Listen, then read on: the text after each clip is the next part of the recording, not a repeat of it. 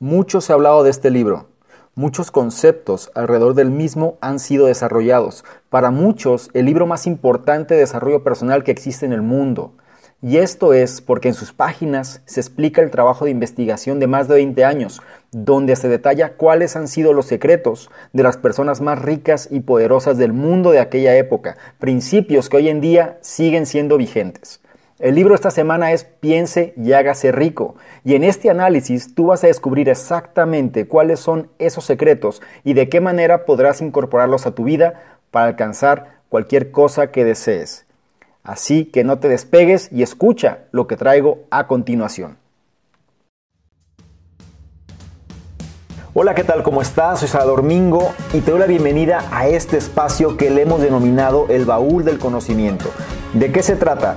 Nos enfocamos en hacer los análisis de los mejores libros en relaciones a negocios, desarrollo personal, inteligencia emocional, entre muchos otros temas. La intención que es que tú tengas eh, la información mucho más depurada, sobre todo que tengas un resumen del libro, que tengas el audio a tu disposición o el video si es que lo prefieres ver en video y simplemente hacemos un análisis exhaustivo de cada uno de los libros que en lo personal considero más importantes. Bien, si a ti te interesa formarte, si te interesa aprender, si te interesa mejorar en diferentes áreas de tu vida, la manera más simple y el camino más sencillo es aprendiendo de los mejores. Entonces, déjame facilitarte el camino mostrándote el conocimiento que ellos nos han dejado y que puedes utilizar para tu propio beneficio personal. Soy Salvador Mingo y listo, vamos a empezar.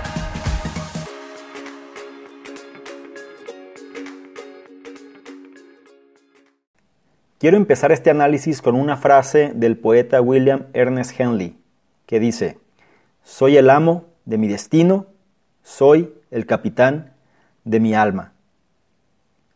Se nos debió haber enseñado desde niños que somos nosotros los dueños de nuestro destino, ya que tenemos el poder de controlar nuestros pensamientos, se nos debió haber dicho que el universo en el que flota esta pequeña Tierra, en la que nos movemos y existimos, es en sí una forma de energía y está lleno de una forma de poder universal que se adapta a la naturaleza de los pensamientos que tenemos en la mente, que de manera natural tiene influencia sobre nosotros para lograr la transmutación de nuestros pensamientos en su equivalente físico. Todo esto lo vamos a ver a detalle y vamos a entender ¿A qué se refiere esta cuestión de la transmutación, influencia, adaptabilidad, pensamientos? Esto dista mucho de lo que para otras personas se conocía como el secreto, ¿no? Durante la última década, la película El Secreto, sus libros y demás, pues claro, causó mucho ruido, ¿no? Y además las personas les interesó mucho la idea de saber cómo con los pensamientos se podían conseguir las cosas. Claro, porque lo hacían ver como si fuese algo mágico, ¿no? Este libro data más, em, sus términos son de casi 100 años, es decir, este libro tiene aproximadamente desde que se empezó a hacer, cerca de 100 años. Los principios que vamos a ver aquí se han utilizado una y otra vez para desarrollar muchos otros libros, entre ellos sí, El Secreto y otros más. ¿no? La diferencia radica en que aquí no se trata de algo mágico. Te vas a dar cuenta que los temas que se ven y sobre todo la forma en la que se estructuran tienen mucha lógica. Y sí, una parte va relacionada hacia los pensamientos, la forma en la que vemos las cosas, pero otra parte va enfocada hacia cómo entrar en acción hacia esas cosas que deseamos y queremos. Entonces, Quiero que tengas muy presente que este es un libro clásico, es un libro prácticamente que no va a dejar de estar. Son de estos libros que llevan muchos años y siguen estando vigentes porque sus principios no cambian y la manera en la que las cosas se hacen, la verdad es que no cambian. Y si logras implementar esto a tu vida, te aseguro que los resultados van a llegar. Es importante que te diga que los principios que vamos a ver en este libro, em, de hecho su nombre, como puedes ver, es piense y hágase rico, ¿no?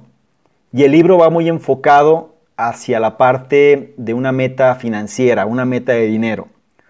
Por eso es que la mayoría de los ejemplos, o sobre todo la forma en la que está estructurado, se relaciona hacia una meta financiera, es decir, una cantidad de dinero que tú quieres y deseas obtener. No quiero que esto te haga pensar que este es un libro sobre el dinero o simplemente lo vas a aplicar al dinero. La verdad es que no.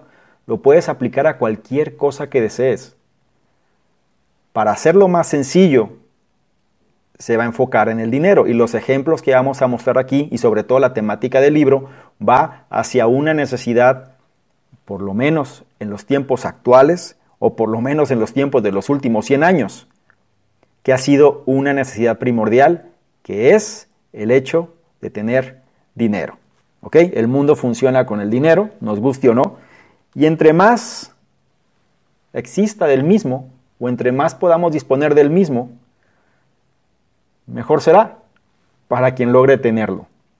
Es importante entender los principios fundamentales porque una vez que lo tienes también tienes que saber qué hacer con él. Pero no me voy a adelantar, así que vamos a empezar este análisis con la pieza angular de todo. Y dice, todo empieza con un deseo ardiente. Un deseo ardiente de ser y hacer es el punto de partida que debe tener un soñador. Los sueños no nacen de la indiferencia, no nacen de la pereza ni de la falta de ambición. El primer paso hacia la riqueza es el deseo ardiente de triunfar. Se debe desear eso más que cualquier otra cosa y quemar todas tus naves tras de sí. Es decir, si vas a hacerlo, comprométete que lo vas a hacer y trata de no tener esos respaldos que si esto no funciona me queda esto. Cuando alguien quiere algo tiene que ir por todo por eso que desea. Y es cosa aquí, como lo hemos visto de manera extrema, en el ejemplo mencionan bastantes situaciones o bastantes ejemplos históricos de vida o muerte. Quizá no es necesario llegar a los extremos, pero digamos que la frase que lo resume es quemar todas tus naves tras de sí. Es decir, Nada más tienes una sola opción, que es avanzar e ir en pro de lo que quieres. Menciona, todo ser humano que llega a la edad del propósito del dinero quiere dinero, pero quererlo no basta para acumular riqueza. Sin embargo, desear la riqueza teniendo un estado mental, la cual viene a ser la convicción, ¿eh? que se convierta en una obsesión y ejecutar esos planes con una persistencia que no afecte el fracaso, producirá riquezas, es decir, tener la convicción de que vas a lograr eso que quieres. No importa la cantidad de tropiezos que surja en el camino. Y aquí toma nota si puedes, si no pon mucha atención a lo que te voy a decir, porque lo que viene a continuación viene siendo la clave de, del libro. ¿Sí? Porque te voy a decir el método con el cual las cosas se pueden materializar. El método con el cual el deseo de riqueza se puede transmutar en su equivalente monetario consta de seis pasos prácticos y definidos. Número uno, determina en tu mente la cantidad exacta de dinero que deseas. Número dos, determina con exactitud lo que te propones a dar a cambio por el dinero que deseas. Número tres, establece un plazo determinado en el que te propones poseer el dinero que deseas. 4.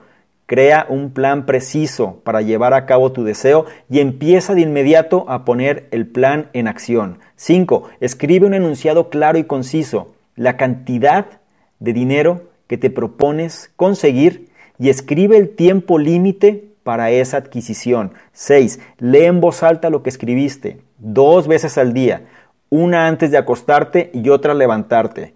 Debes verte, sentirte, y pensarte ya en la posición de ese dinero. Es muy importante esta última parte. Dice, debes verte, sentirte y pensarte ya en posición de ese dinero. Mira, si tú no ves grandes riquezas en tu imaginación, nunca las vas a ver en tu cuenta bancaria. La tolerancia y la apertura mental son necesidades prácticas para el soñador actual. Si lo que quieres hacer está bien y crees en ello, adelante, hazlo. No hay problema, no estás dañando a nadie. No hagas caso de la opinión de los demás, ya que ellos posiblemente no sepan que cada fracaso lleva consigo la semilla de un éxito equivalente. El segundo principio que menciona el libro es la fe. Y la fe es un estado mental que puede inducirse mediante la autosugestión. Antes de empezar, este capítulo en particular va muy ligado a la ley de la atracción. Eh, para algunos puede ser algo muy metafísico, para otros puede ser algo muy ligado a la religión, pero no deja de ser una cuestión de fe y de creencia. Así que te pido, o les pido a todos los que estén escuchando esto, que tengan mente abierta sobre este punto, porque va muy ligado sobre los demás principios. Y al final van a ver por qué es tan fuerte la relación y por qué tenemos que tener una fe muy mm, dirigida hacia aquello que queremos. Mira, la fe es el segundo paso hacia la riqueza, ya que es lo que hará que podamos visualizar y creer en el logro del deseo que tenemos. La fe es el elemento químico primordial de la mente. Cuando la fe se mezcla con la vibración del pensamiento, la mente subconsciente capta al instante la vibración, la traduce a su equivalente espiritual y la transmite a la inteligencia infinita, tal como sucede en el caso de una plegaria o una oración. Las emociones de la fe, el amor y el sexo son las más poderosas entre las principales emociones positivas. Es importante que te diga, ¿no? También, que la fe es un estado mental que se puede inducir o crear y lo hace mediante afirmaciones al subconsciente. Todo esto a través del principio de la autosugestión. Mira, el hecho de repetir o afirmar las órdenes que das a tu subconsciente realmente es el único método para el desarrollo voluntario de la emoción de la fe. Todos los pensamientos en los que se ha introducido emociones y que se han mezclado con la fe empiezan inmediatamente a traducirse a su equivalente físico o en su contraparte, ¿no? Importante, cuando te dirijas al subconsciente, hazlo como si ya estuvieras en posesión del objeto material que estás pidiendo. Y también algo muy importante, esto no es al instante, ¿ok? Que creo que es el problema de la mayoría de las sociedades, ¿no? O de alguna manera el ser humano, que quiere que todo sea rápido al instante. Y aquí no deja de ser distinto y te hacen la aclaración muy puntual donde no es al instante y tendrás que repetirlo una y otra vez mediante las afirmaciones que veremos más adelante. Voy a continuar. También considera lo siguiente, cada uno de nosotros somos lo que somos a causa de nuestros pensamientos dominantes, que a su vez, ojo aquí, atraen a otros pensamientos similares o relacionados. Hay que cuidar nuestra mente, hay que cuidar lo que pensamos, lo que decimos, porque eso atrae aspectos similares.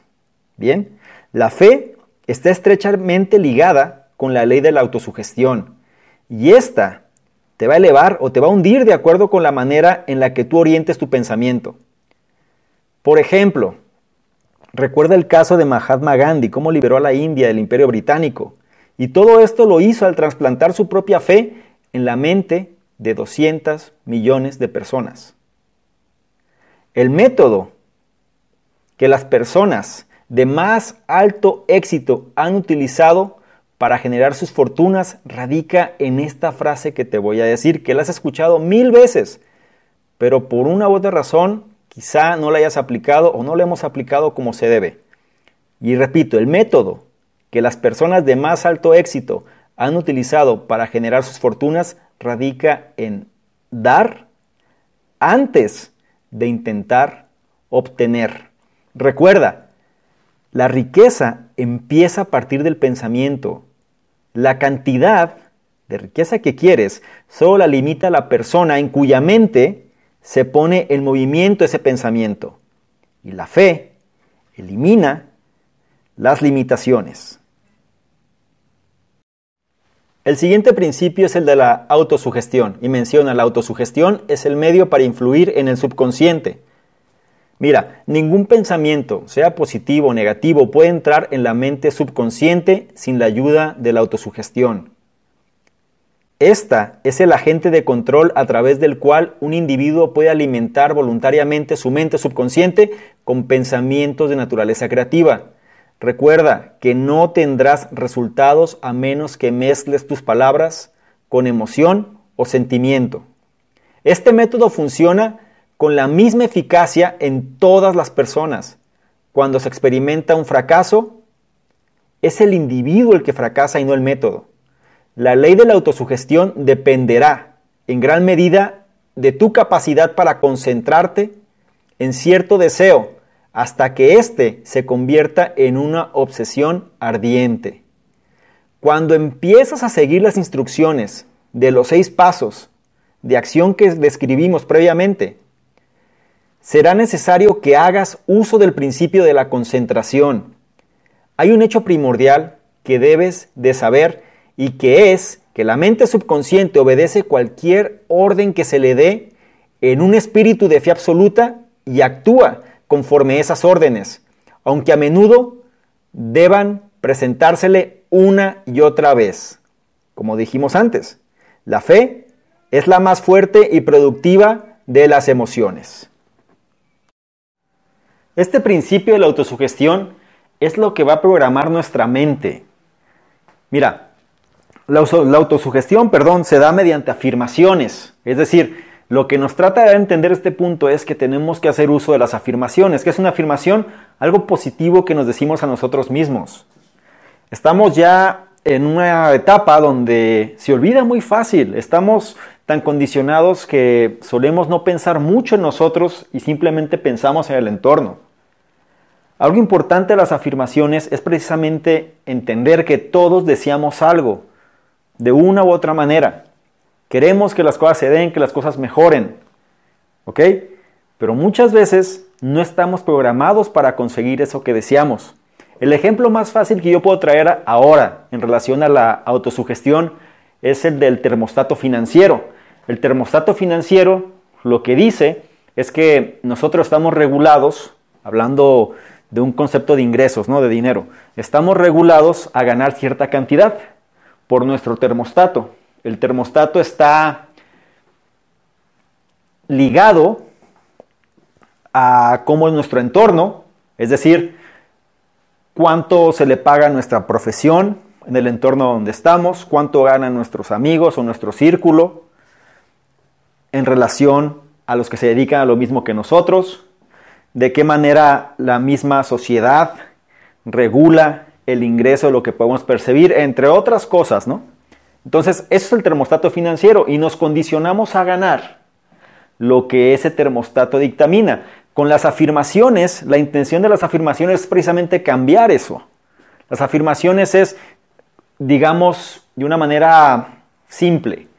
Yo voy a cambiar mi termostato financiero para ganar el doble de lo que gano ahora. Entonces, las afirmaciones tienen que ir en función de eso. Yo tengo que programar mi mente para poder alcanzar eso. Entonces, saber, número uno, que realmente se es merecedor o soy merecedor de ganar eso.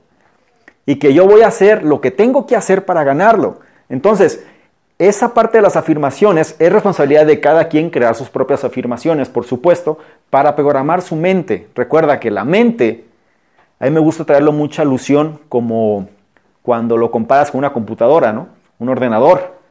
La mente está ahí para ejecutar los programas que tienes implantados, ¿no? Si quieres cambiar el resultado de lo que tu mente, genera, perdón, tienes que cambiar los programas que tienes implementados. Una manera de cambiarlos es precisamente mediante la autosugestión por medio del uso de qué? De las afirmaciones. El siguiente principio viene a aterrizar lo que en los principios anteriores aparecía, ¿no? En los principios anteriores hablábamos de la fe, la autosugestión, el deseo ardiente. Esas son cuestiones que deseamos, que queremos y que están en nuestra mente. Este principio es el conocimiento especializado, es traer al mundo real eso que queremos que se manifieste mediante nuestro propio esfuerzo. Este conocimiento especializado se refiere a las experiencias u observaciones personales. Y deja que te diga, mira, el conocimiento no va a traer dinero, incluso no va a traer ningún otro tipo de éxito a menos que esté organizado e inteligentemente dirigido mediante planes de acción que sean prácticos para el objetivo preciso de acumular dinero. La verdad es que antes de que puedas estar seguro, segura de tu capacidad para transmutar el deseo en su equivalente monetario, vas a necesitar conocimientos especializados sobre el servicio, la mercancía o la profesión que te propones ofrecer a cambio de tu fortuna. Debes estar consciente que la acumulación de grandes fortunas requiere poder. Y el poder se adquiere mediante el conocimiento especializado, inteligentemente dirigido y altamente organizado. Dicho de otra manera, a medida que los conocimientos se van adquiriendo, deben organizarse con el fin de emplearlos para un propósito definido. El camino al éxito es el camino de una constante búsqueda de conocimientos y para generarlos tenemos que desarrollarnos el hábito de generarlos. Tanto el éxito como el fracaso son en gran medida el resultado de hábitos.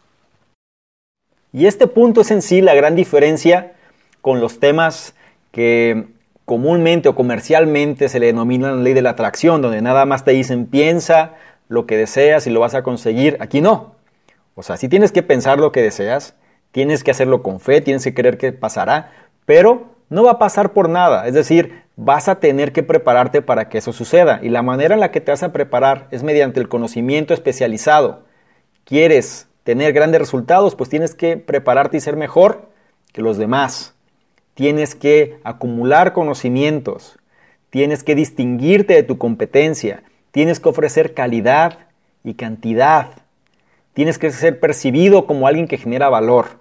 La ley de economía recuerda que dice que nadie te va a dar algo a cambio de nada. Y si llegase a suceder, es algo que no puede mantenerse en el tiempo. ¿Ok? Entonces, ten claro este principio porque aquí es donde entra la realidad de las cosas que muchas veces la gente no quiere hacer, que viene siendo que el hecho de prepararse para ser mejor que los demás y lograr entonces en base a su propio trabajo ese resultado que desea. El siguiente principio habla de la imaginación. En el libro lo denomina como el taller de la mente.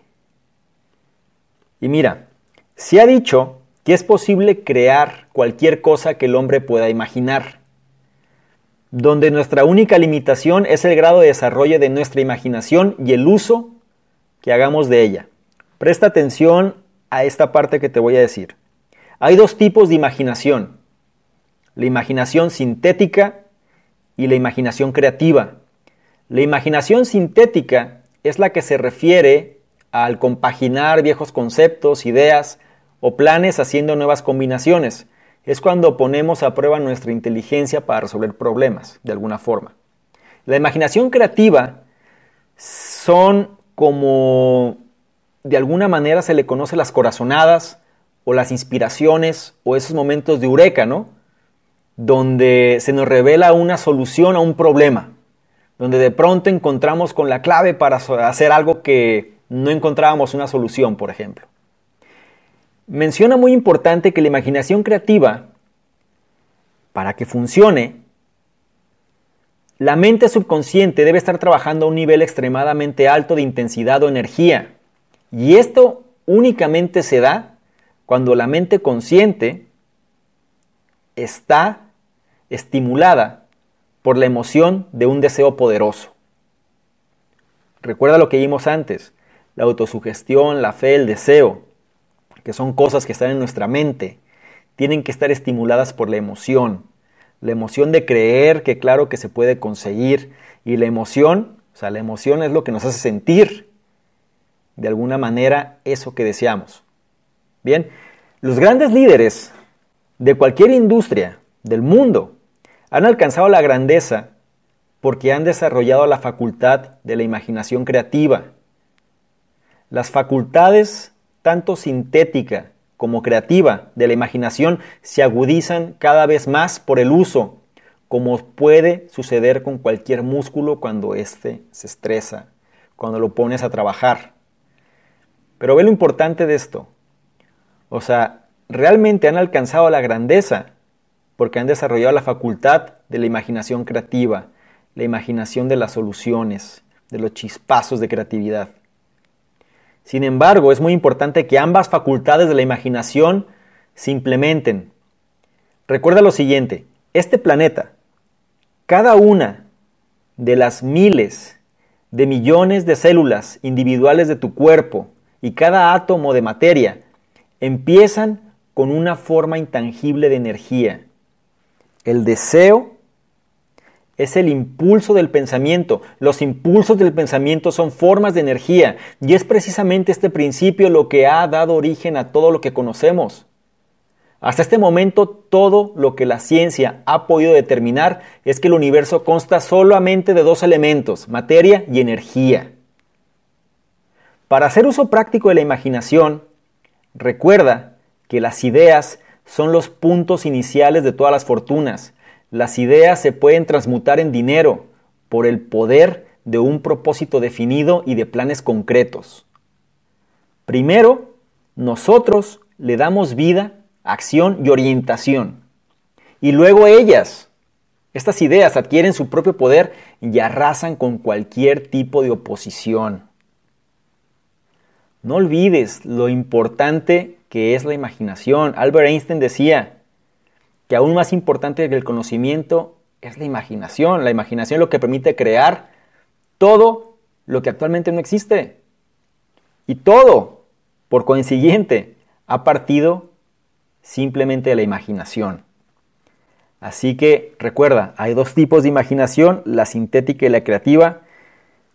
La que ha producido la grandeza y sobre todo las grandes fortunas ha sido la imaginación creativa. Y esta solamente se da cuando la mente consciente está estimulada por la emoción de un deseo poderoso.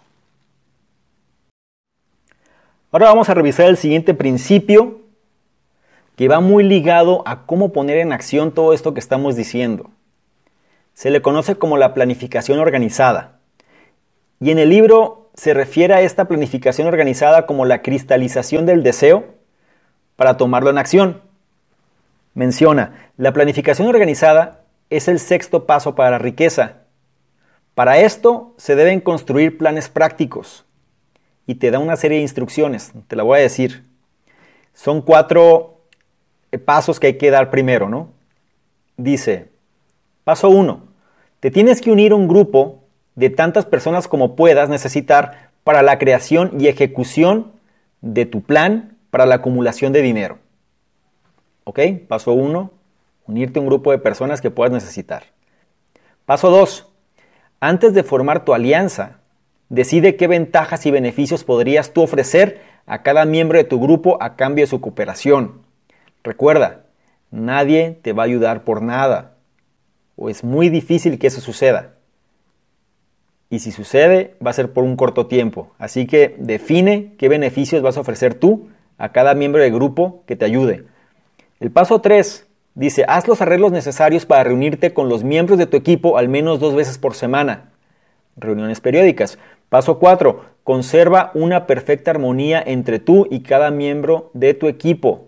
Es decir, en esta parte, como líder, porque estás fungiendo como un líder de tu equipo, es tu obligación mantener la armonía dentro del mismo, si no, se va a descomponer. Ahora, tienes que tener presente dos hechos. El primero, debes estar comprometido con una empresa que sea de gran importancia para ti. Si quieres asegurar el éxito, debes tener planes infalibles. O sea, tienes que tener una causa que sea superior a todo lo demás y realmente comprometerte con esa causa. Y el número dos, debes contar con la ventaja de la experiencia, la educación, la capacidad innata y la imaginación de otras mentes. O sea, no nada más se trata de todo lo que tú sabes, sino también de todo lo que los demás miembros de tu equipo pueden contribuir. Ahí es donde radica la excelencia y sobre todo cómo poder superar los obstáculos, porque se trata de complementar fortalezas también para mitigar las debilidades que existan. Debes asegurarte que tu equipo verifica y aprueba tus planes, que todo el mundo esté en el mismo canal, como se dice por ahí. La causa principal por la que la mayoría de las personas fracasa se debe a su falta de persistencia. Más adelante vamos a, vamos a ver este punto, perdón. Pero dice, ¿no? La mayoría de las personas fracasa por su falta de persistencia en la creación de nuevos planes para sustituir los que no funcionan. ¿Ok? La derrota temporal debería significar solo una cosa. Cuando alguien falla, esto es lo que tiene que tener en mente. Que la certeza, o tiene que tener en mente la certeza que hay algo mal en el plan que está llevando a cabo. Recuerda lo siguiente, ningún seguidor de esta filosofía puede esperar de manera razonable que acumulará una gran fortuna, una gran riqueza sin experimentar derrotas temporales. Los que se dan por vencido nunca ganan. Y un ganador, la característica del ganador es que nunca se da por vencido. ¿Ok? Y aquí quiero que entiendas esto. Muchas veces solemos, porque a todos nos pasa, desanimarnos ante los tropiezos. Pero aquí te están dando una, un seguro para que eso no pase, que es que armes un equipo donde puedas de alguna manera mitigar esas debilidades, pero sobre todo que puedas maximizar o potencializar esas fortalezas. Busca ese equipo, que logren estar todos en la misma sintonía, el mismo canal, y entienda por qué se hacen las cosas. Algo también importante de este punto es que el deseo, o sea, una vez que tú tienes el deseo transmutado en su equivalente económico, aplicando los principios que presentamos aquí, es el agente por medio del cual se gana dinero. Todo lo que realices de ahora en adelante debes hacerlo en base a una fórmula que se le llama fórmula CCE. Y te voy a decir en qué consiste. La fórmula CCE se refiere a una C es de calidad, otra C es de cantidad y la otra se refiere al espíritu. Y menciona algo como esto, la calidad y la cantidad, que la cantidad es el hábito de la totalidad de los servicios, es decir, de siempre cumplir en tiempo y forma, en relación a los servicios prestados, y el espíritu, en lo concerniente a los servicios que se prestan. Por espíritu debemos entender que es el hábito de una conducta agradable y armoniosa. Todos estos tres elementos determinan en gran medida la remuneración económica y la duración de esta remuneración. La ley de economía, como mencioné antes, dice que solo hay un método seguro para acumular riquezas y es la de prestar servicios útiles. No se puede recibir algo sin dar nada. ¿Ok? Planificación organizada, recuerda, que viene siendo la cristalización del deseo para transformarlo en acción. Otras palabras, es poner en práctica las acciones para que ese deseo se empiece a materializar. El siguiente principio, que también forma parte crucial para lograr lo que buscamos o lo que queremos, es la decisión. Y la decisión se refiere a vencer el hábito de dejar las cosas para más tarde, ¿no? También conocido como la procrastinación. La falta de decisión, dejar las cosas para más tarde, es el enemigo a vencer de cada ser humano y una de las principales causas de fracaso que la gente tiene. El análisis de varios cientos de personas que habían acumulado fortunas superiores al millón de dólares, puso de manifiesto que tenían el hábito de tomar decisiones con rapidez y cambiarlas con lentitud, si es que las cambiaban. Y voy a repetir esta frase otra vez.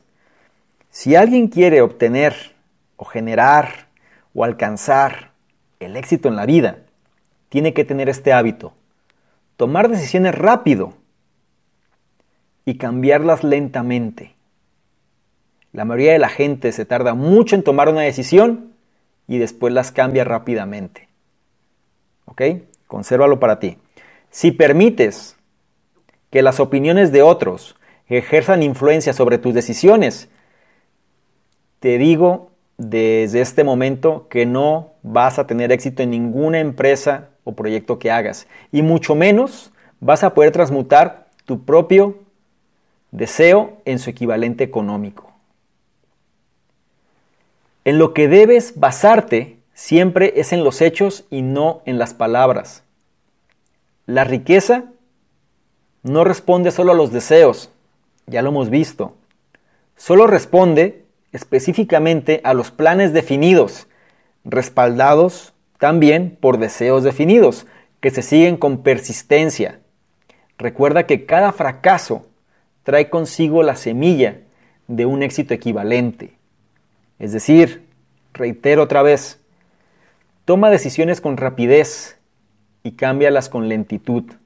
Y no dejes que las opiniones de los demás ejercen influencia sobre tus decisiones. Al final, ellos no tienen por qué entenderlas. Son tus decisiones, no las de ellos.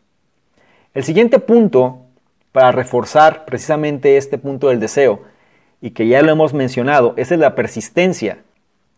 Y la persistencia se define como el esfuerzo constante necesario para cultivar la fe. La persistencia es la fuerza de la voluntad, en pocas palabras. Cuando la fuerza y el deseo se combinan adecuadamente, estas forman una alianza irresistible. El punto de partida de todo logro es el deseo, ya lo vimos previamente. Las fortunas gravitan sobre las personas que se han preparado, o que han preparado sus mentes más bien, para atraerlas. Pero si no tienes persistencia, vas a estar derrotado, vas a estar derrotada incluso antes de empezar. ¿Ok? Recuerda, no es, una, no es una carrera de velocidad, es una carrera de resistencia. Y hay un dicho por ahí que dice que lo que resiste, persiste. ¿Ok? Entonces, la persistencia es lo único que va a hacer que logres aquello que deseas. No claudicar, seguir avanzando. Si seleccionas bien a tu equipo, o sea, como vimos en el punto anterior, si lo seleccionas bien, vas a encontrar en él al menos una persona, algún miembro de tu equipo, que te va a ayudar en el desarrollo de la persistencia. Así que escoge bien. Recuerda que la persistencia es un estado mental y por consecuencia se puede cultivar. Presta atención lo que voy a decirte a continuación. Y te voy a repetir por qué lo tienes que prestar atención. Mira, la persistencia, como dije antes, es un estado mental.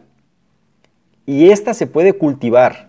Para que la puedas cultivar, debes de hacer o debes de estar consciente de estos ocho factores que son los que definen la persistencia.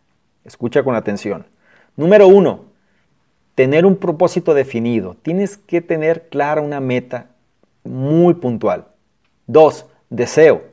Deseo hacia esa meta, o sea, que realmente quieres conseguirla, ¿no? Es decir, sueñas con eso, te obsesionas de alguna manera con eso. Paso tres, la confianza en sí mismo. Tienes que creer que puedes alcanzarla. El siguiente punto se refiere a tener planes definidos, estructura tus metodologías de trabajo. Ya que tienes la confianza, necesitas definir qué pasos tienes que hacer para que eso se dé. No va a llegar por nada, como dijimos antes. Debes de tener conocimiento preciso, que es el número 5. Suponer, en lugar de conocer, destruye la persistencia. No supongas. Tú tienes que tener los datos para hacer que la persistencia se dé. Cooperación, que ya lo vimos, que es el punto 6 en relación al equipo.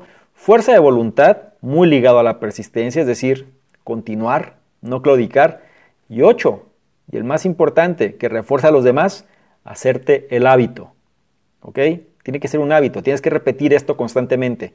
Y además de esos 8, quiero que consideres cuatro pasos sencillos para desarrollar o reforzar tu persistencia.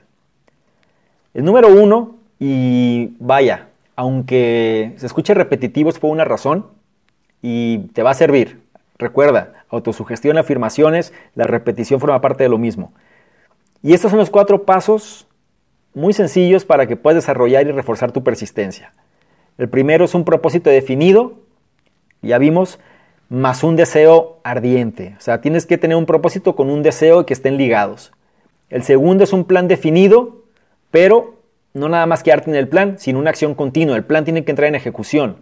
El tercero, la mente cerrada, tienes que tener la mente cerrada toda influencia desalentadora y negativa. No hacer caso de nada de eso.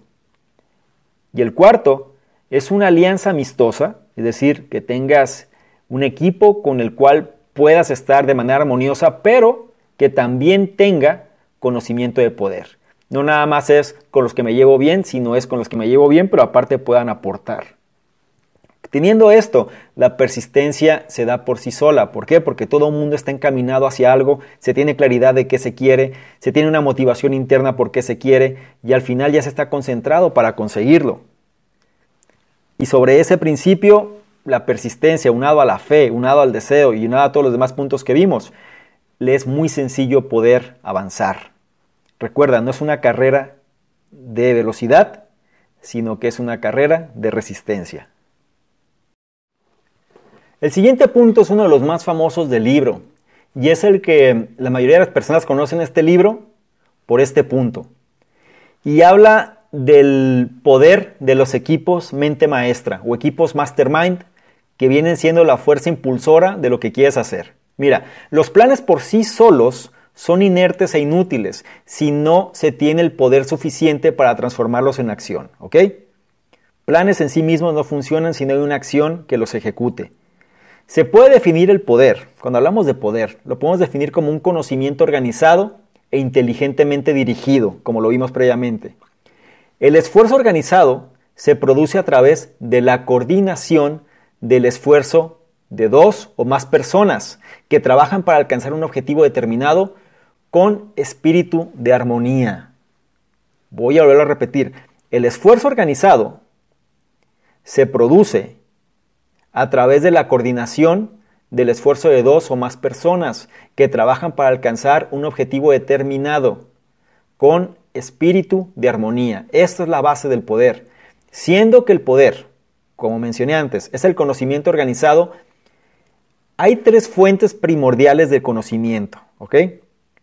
Para, para adquirir conocimiento, perdón, hay tres fuentes. La primera es la inteligencia infinita, la segunda es la experiencia acumulada y la tercera es experimentación y organización. Voy a explicar cada una de las mismas. Inteligencia infinita. Esto se refiere independientemente de la religión, la espiritualidad que tengas y demás. Es como el, el hecho, para, para algunas personas puede ser Dios, para otras personas será el universo en sí mismo, para otros será todo lo que, todo lo que está a disposición en el mundo o todo lo que existe.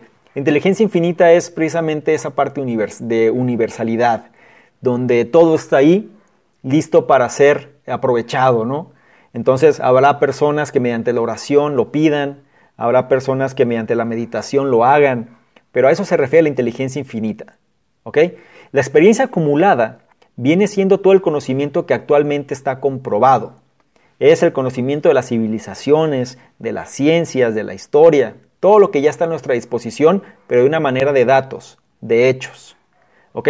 Y, el tercer tipo de conocimiento es la experimentación y organización, que se refiere prácticamente al conocimiento que nosotros vamos adquiriendo por nuestra propia experiencia.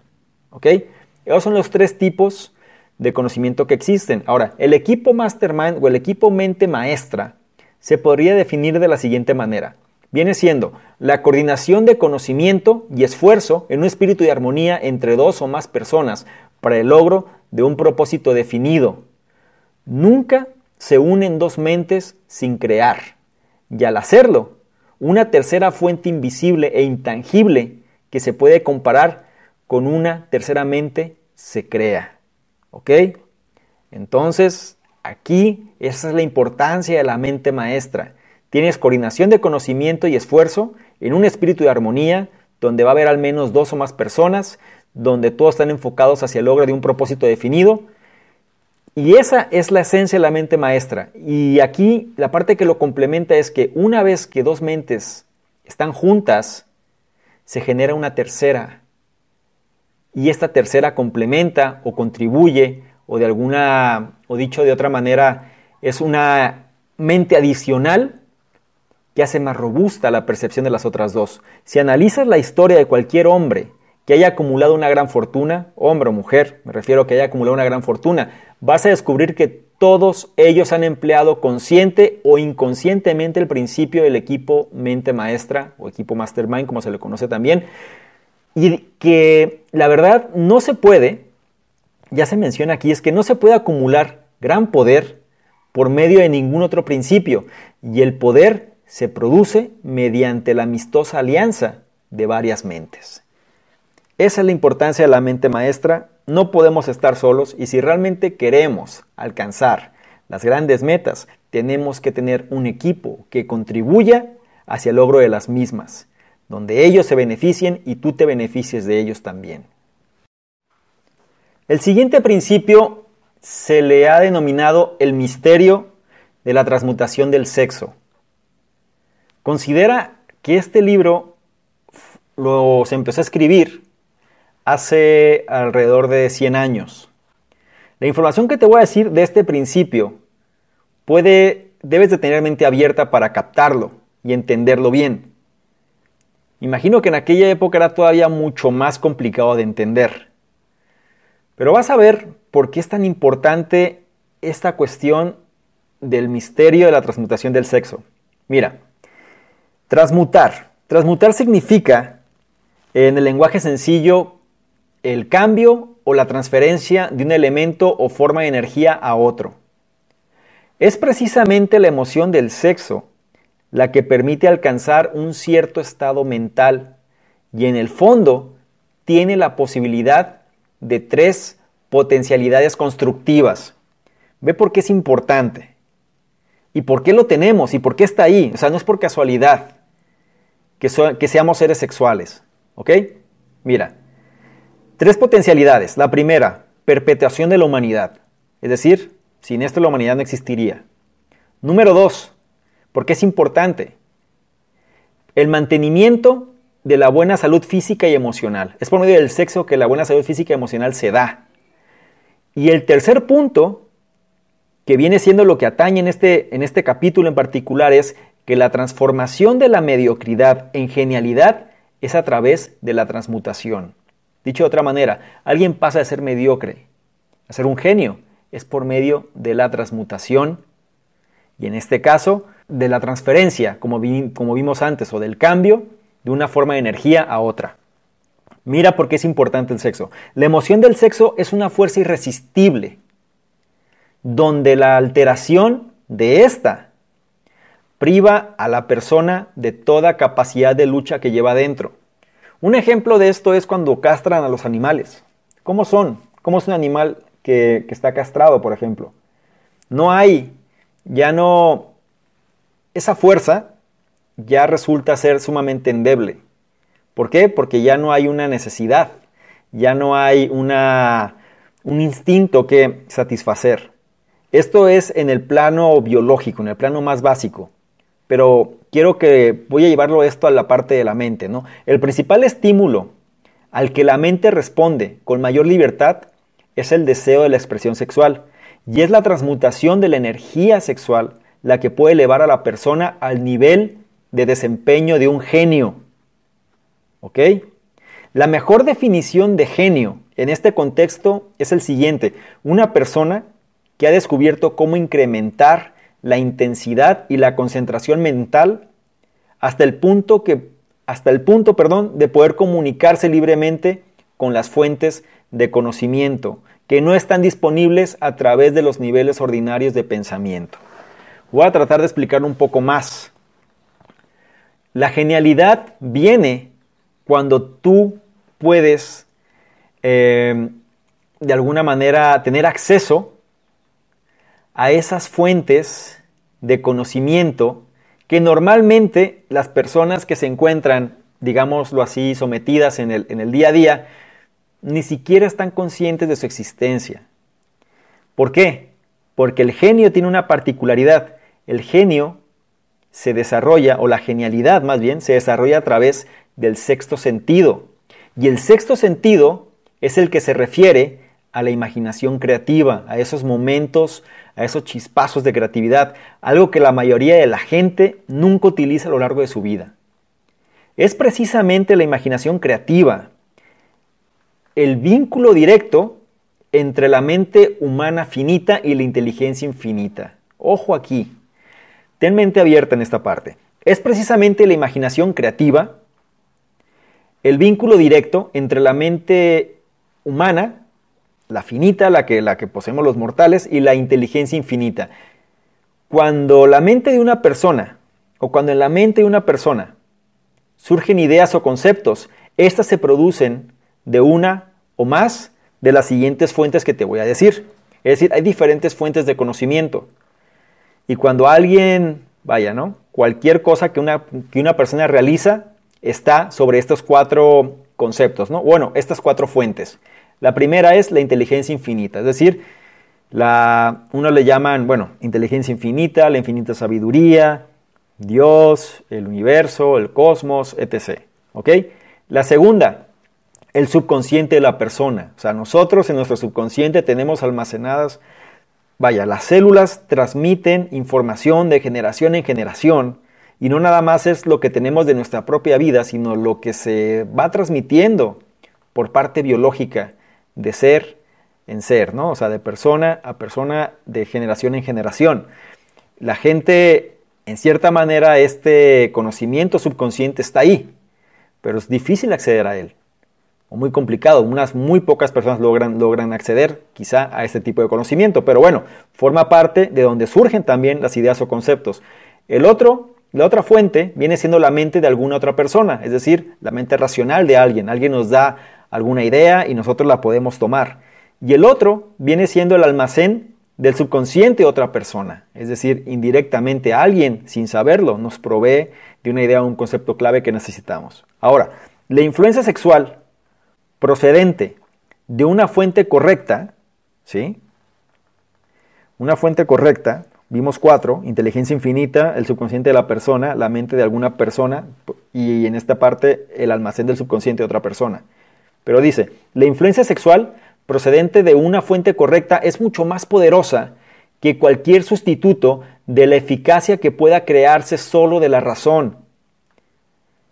Nunca ha existido ni existirá un gran líder al que le falte esa fuerza impulsora del sexo. ¿Ok? Y vamos a ver por qué.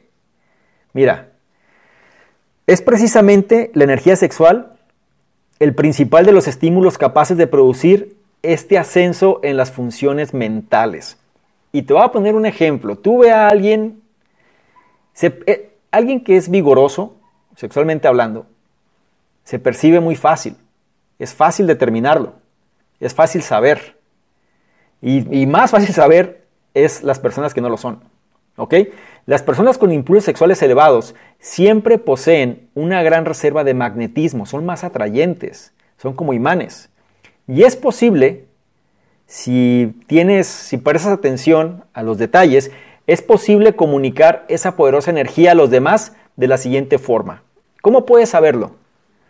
de la manera en la que la persona saluda, el apretón de manos, el tono de la voz, la postura, el porte que tiene, las vibraciones de pensamiento, es decir, basta con que empiece a hablar y simplemente conecta, y los adornos del cuerpo. Los adornos del cuerpo se refiere a cómo se viste, cómo se arregla.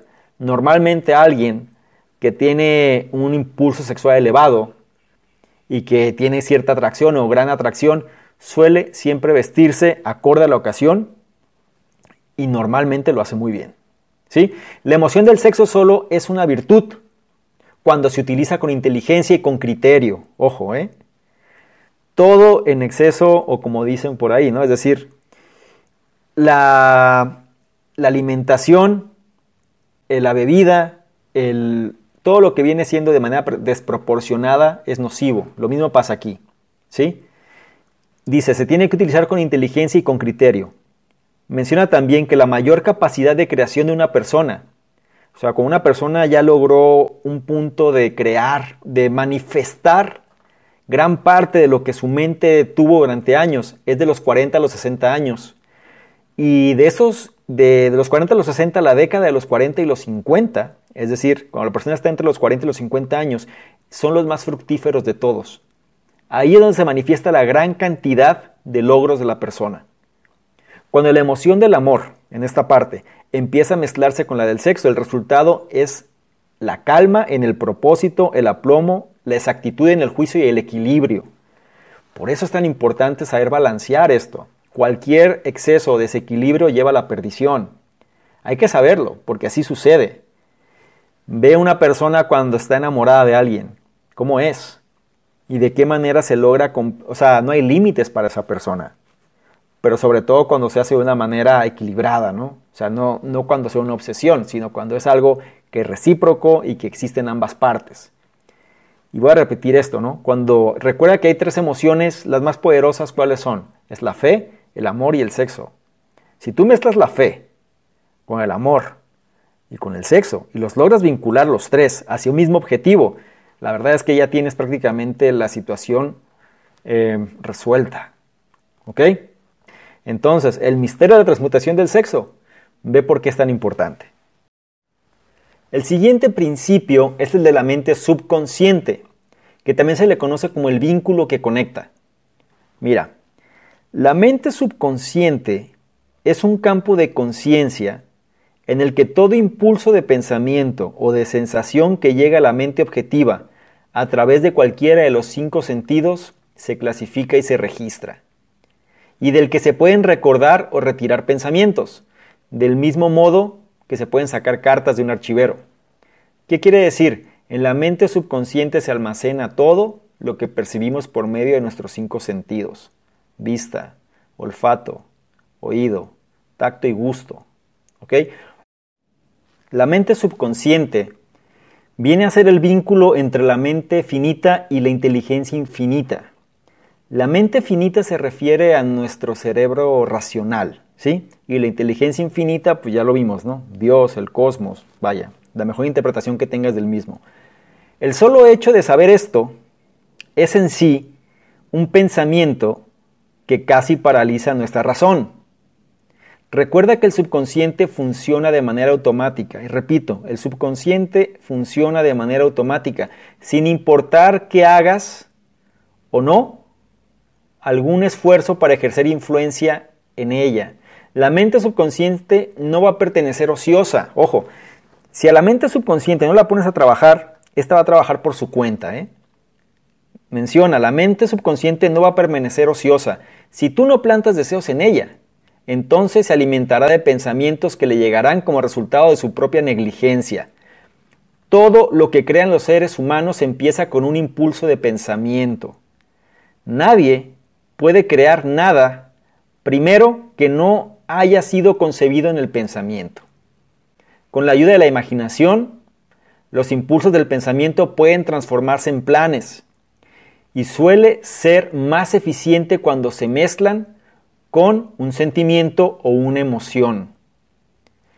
Previamente habíamos hablado de las emociones positivas, mencionamos la fe, el amor, el sexo. Hay más, hay siete emociones positivas. Ojo, ¿por qué saco esta alusión? Porque dice que es muy importante ¿sí? que logremos mezclar los planes que tenemos con un sentimiento o una emoción. Hay siete emociones positivas y siete emociones negativas principales. Las negativas, como vimos previamente, si nosotros no trabajamos el subconsciente, este se va a alimentar de lo primero que encuentre. Y normalmente, mira cuál es el problema. Las negativas, las emociones negativas se inyectan de forma automática en los impulsos del pensamiento. Es decir, no tenemos que hacer nada para que se den. Aparecen solas por medio del impulso del pensamiento, mientras que las positivas, perdón, tienen que ser inyectadas. ¿Cómo las inyectamos? Por medio de la, de la autosugestión, como mencionamos antes. Presta atención cuáles son las positivas y las negativas. Normalmente la negativa viene siendo lo opuesto de la positiva.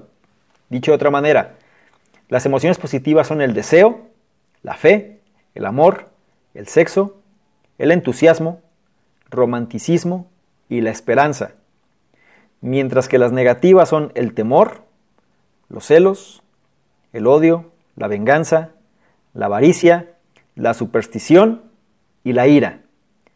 Recuerda algo. Si rezas por algo, pero mientras lo haces experimentas el temor de no recibirlo, esa plegaria o ese rezo que hiciste habrá sido en vano. Los pensamientos que comunicas a la inteligencia infinita deben sufrir una transformación que solo se logra a través de la mente subconsciente. Inyéctale la emoción, pero que sean positivas, ¿ok? Si no lo haces, da igual cuántas veces lo intentes, no va a pasar nada, porque dentro del subconsciente no lo está reforzando para que eso suceda. El siguiente principio es el cerebro el cual lo definen como una estación receptora y emisora del pensamiento. Para que quede más claro este contexto de estación receptora y emisora, eh, se trae alusión el ejemplo de una radio, ¿no? Pero mira específicamente cómo son los elementos que lo componen dentro del cerebro. Menciona, la imaginación creativa es el aparato receptor del cerebro que procesa los pensamientos emitidos por los cerebros de los demás. Dicho de otra manera, es en la imaginación creativa donde se reciben y se procesan los pensamientos que emiten otros. El pensamiento, algo muy importante, se manifiesta como energía eléctrica dentro del cerebro. La mente subconsciente, ojo aquí, es la estación transmisora a través del cual se emiten los impulsos del pensamiento. Otra vez, la mente subconsciente es la estación transmisora del cerebro a través del cual se emiten los impulsos del pensamiento. La, imaginación creativa recibe, la mente subconsciente transmite. ¿Ok? Solo debes tener en mente tres principios y aplicarlos cada vez que desees utilizar tu estación transmisora, es decir, utilizar tu cerebro. Uno, un principio es la mente subconsciente, el otro es la imaginación creativa y el otro es la autosugestión, donde todo empieza con el deseo. Todas las personas han llegado a ser lo que son debido a sus pensamientos y deseos dominantes. Recuerda, el cerebro es una estación receptora y emisora de pensamiento. Voy a, tratar de voy a tratar de resumir este punto para que quede más claro. La imaginación creativa es el aparato receptor del cerebro, ¿sí? Donde caen los pensamientos emitidos de otros y los procesa. La mente subconsciente es la que transmite, digámoslo así, los mensajes, ¿no? Eh, mediante impulsos de pensamiento. Entonces, hay una distinción. Al final, la mente subconsciente de alguna manera alimenta a la imaginación creativa si sabemos canalizarla. Y entonces hay tres elementos o tres principios principales, que es la mente subconsciente, la imaginación creativa y recuerda la parte fundamental, la autosugestión. ¿Qué va a hacer la autosugestión? Va a programar nuestra mente para que podamos alcanzar aquello que realmente deseamos. Y como dice en esta parte, todo empieza con el deseo. Y ahora entramos al último principio, que viene siendo el grado máximo que alguien puede alcanzar si es que logró dominar los 12 principios previos. A este último principio se le denomina el sexto sentido que viene siendo la puerta al templo de la sabiduría. Por medio del sexto sentido, la inteligencia infinita puede comunicarse a voluntad y de hecho se comunica con el individuo sin que éste tenga que esforzarse o exigirlo. Hemos escuchado casos de personas que tienen premoniciones, de personas que, vaya, que adivinan cosas, personas que presienten cosas, personas que eh, se pueden anticipar a los hechos. Se supone que todas esas son cualidades de, esta, de este tipo de inteligencia más desarrollada. Digo, hay que tener cuidado, ¿no? Mucha gente son, son, son mentiras, pero si alguien, según los principios, si alguien logra llevar estos 12 principios de una manera estructurada y sobre todo que ha logrado dominarlos, no tendría, no sería raro que esto pudiera pasar. ¿Por qué? Porque la forma en la que esto está estructurado es para que las personas logren todo aquello que desean. Y la práctica, como dice el dicho, la práctica es el maestro. Cuando tú logras dominar quizá los 12 principios previos, esto ya debe salir de manera natural. El sexto sentido es en sí a lo que nos hemos referido con o, los temas que vimos previamente con la imaginación creativa o el aparato receptor, a través del cual las ideas, planes y pensamientos salen de la mente, a los que usualmente llamamos como inspiraciones, premoniciones y presentimientos. ¿Ok? Otra vez, más para que aterrizar un poco la idea del sexto sentido, es a lo que nos hemos venido refiriendo previamente como la imaginación creativa o ese aparato receptor, ¿sí? A través del cual las ideas, los planes y los pensamientos salen de la mente, pero salen a esa manera de chispazos de inteligencia, ¿no? Ese momento, esos momentos de eureka, esos momentos de ajá, o sea, das con la clave de aquello que te había consumido mucho tiempo y que no lograbas encontrar. La comprensión del sexto sentido solo se logra por medio de la meditación y del desarrollo mental desde dentro. ¿ok? Para algunos, el sexto sentido es como un ángel guardián que te va a advertir de todo peligro inminente con tiempo suficiente para evitarlo. Y te va a notificar también sobre las oportunidades con tiempo suficiente para aprovecharlas. Todos han llegado a ser lo que son, y lo he reiterado varias veces, gracias a sus pensamientos y sus deseos dominantes. Pero fíjate en esto, rara vez alcanza un individuo un conocimiento práctico del sexto sentido antes de los 40 años. Es muy difícil que eso suceda. Es más común que ese conocimiento pueda estar a su alcance mucho después, después de los 50, incluso posterior pues las fuerzas espirituales con las que el sexto sentido tiene una relación tan íntima no maduran ni es posible usarlas sino hasta después de varios años de meditación, análisis personal y pensamiento serio. Por eso dicen que la madurez llega con la edad, la mayoría de las veces, habrá veces que no, pero es, forma parte de un resultado que se va llevando cuando se adquiere una mayor sabiduría, una mayor experiencia y ya no nos estamos moviendo tanto por los impulsos, sino más bien por el conocimiento, pero un, un conocimiento bien estructurado. El punto de partida de todo logro, como mencionamos antes, es el deseo. El punto final de todo, de todo lo que hemos visto, es la rama del conocimiento, que se conduce a la comprensión. Voy a repetir aquí que esta parte sí quiero que la entiendas. Mencionamos inicialmente que todo empieza con el deseo, ¿cierto? O sea, todo empieza con un deseo ardiente.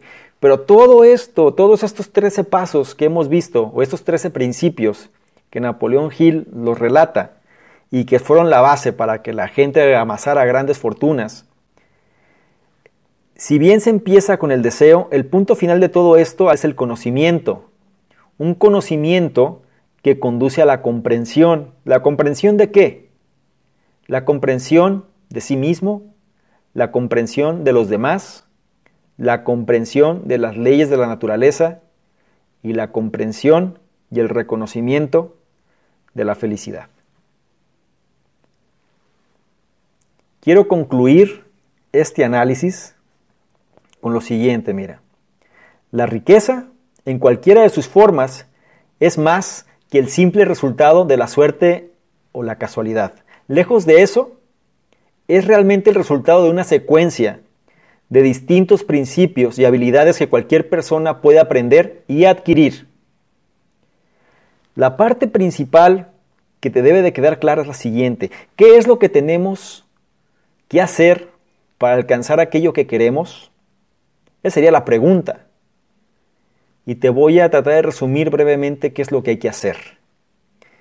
Las personas que logran llevar esto, las personas que lo practiquen diariamente, díganme o dime si crees que no pueden alcanzar lo que quieren en la vida, bajo todos estos principios. Yo pienso que es muy factible que sí, o es casi seguro que sí. La cosa es que casi nadie lo hace, ¿ok? Espero que tú sí lo hagas, pero te voy a decir y te voy a reafirmar cuáles son esos puntos que tenemos que tener claro para que las cosas puedan suceder. Mira, solo vamos a alcanzar aquello por lo que sentimos un deseo ardiente. Eso es lo primero. Debemos de tener un propósito y un plan detallado porque esa es la base de cualquier logro. Recuerda que las personas de éxito tienen una fe irrevocable sobre sí mismas. No se te olvide que por medio de la autosugestión, nuestro subconsciente puede influir nuestro comportamiento. El principio fundamental, el conocimiento es poder. Es en la imaginación creativa donde los sueños se vuelven realidad. Recuerda que teniendo clara nuestras debilidades y fortalezas, incrementamos nuestras posibilidades de éxito. Las emociones positivas son la clave de una vida exitosa y tienen que ser reforzadas constantemente. Las personas de éxito tienen una determinación muy sólida en cuanto a sus decisiones, haciendo que éstas sean rápidas y cambiándolas con lentitud en caso de ser necesario. Solo el que persiste triunfa. Recuerda que lo que resiste, persiste. Y por último, alcanzar grandes cosas requiere, número uno, que seas listo, que seas lista, que tengas un conocimiento especializado del tema y también, muy importante, rodearte de personas inteligentes, de igual manera que puedan complementar unos a otros sus habilidades, sus debilidades y fortalezas, pero también que todos vayan bajo el mismo propósito y entiendan que todo eso se trata de un beneficio común. Espero que este análisis haya sido de utilidad para ti, espero realmente que te haya servido, espero que lo hayas disfrutado, espero que lo apliques más que cualquier otra cosa, porque este es un libro como te dije antes, tiene más de, bueno, aproximadamente cerca de 100 años desde que se empezó a escribir. Se, tardaron, se tardó, perdón, cerca de 20 años en generarlo. Tuvo que entrevistar, si mal no recuerdo, como a 500 personas de todas las categorías, donde eran las personas más exitosas del mundo. Y cuáles eran esos hábitos, esos comportamientos, esos principios en los que se basaban para lograr las cosas. Y el resultado fue estos 13 principios que te acabo de mencionar. Si te das cuenta, las personas buscan siempre mejorar, quieren estar mejor, no conozco a alguien que quiera estar peor. Sin embargo, el problema es que bueno, el problema radica que, lo, que uno no se dan tiempo de pensar en este tipo de situaciones. Entonces, si tú estás leyendo o si estás escuchando esto, más bien escuchando, tú estás consciente de esto de alguna manera tú quieres mejorar y estás consciente que quieres mejorar y estás haciendo las cosas para hacerlo. Pero la mayoría de las personas no, no hace, o sea, simplemente no, no piensa, se dejan guiar o no creen en estas cosas. Sin embargo, si lo analizas, esto no tiene nada de mágico. Es lo mismo que se hace, pero de una manera estructurada. Y simplemente estar conscientes que es la responsabilidad de cada uno que las cosas se logren, de nadie más. Si eso lo logramos percibir, lo demás es mucho más sencillo de realizar. ¿Quieres ganarte algunos de los bonos del programa Conocimiento Experto? Bonos tales como análisis escritos, videos, capacitación, ya sea en manera de webinars o masterclass, incluso estrategias de capitalización, negocios, apalancamientos, sistemas de afiliados, en fin, todo lo que necesitas tanto para hacer crecer tu negocio como para desarrollarte de manera personal. Si es así, esto es lo que requiero que hagas. Número uno, regístrate al podcast, ya sea que estés en iTunes o en iBox, no importa, regístrate. Número dos, deja un comentario. Deja un comentario de valor que nos ayude a mejorar y sobre todo que aporte a la comunidad. Si es así, nosotros de manera aleatoria vamos a escoger cuál de ellos es merecedor de los bonos. Entre más participes, es un hecho que más vas a recibir. Si quieres saber más sobre todo lo que hacemos, dirígete a la página de salvadormingo.com, donde ahí vas a encontrar, además de los análisis, el blog, los programas que manejamos e inclusive los diferentes proyectos que estamos desarrollando. Todo esto para apoyarte en tu crecimiento, tanto personal como de tu negocio.